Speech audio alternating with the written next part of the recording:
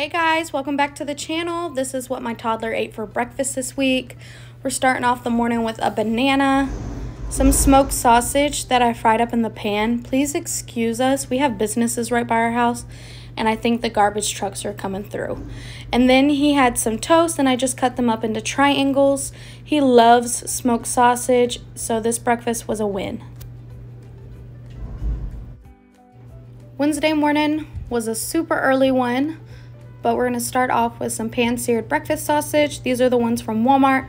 They're super easy and we keep them in the freezer weekly. A frozen waffle that I popped into the toaster, cut into strips. Half of a banana. Pancake syrup on the side and he was ready to go.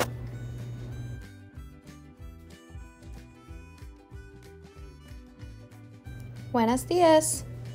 This Thursday morning, I prepared my son a tortilla, just a corn tortilla, some guacamole. He loves um, just salt and garlic in his guacamole and mushed up, and some chorizo and eggs. We love having this breakfast, and we definitely do have it maybe one to two times a week. Super easy, super filling.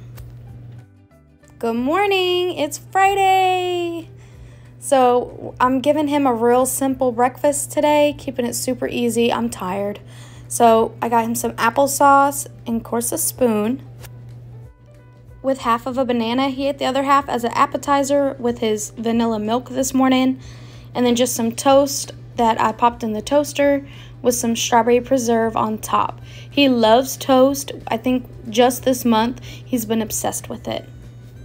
But thank you guys for watching today's video. Please comment down below if you'd love to see any more videos like this one. Bye!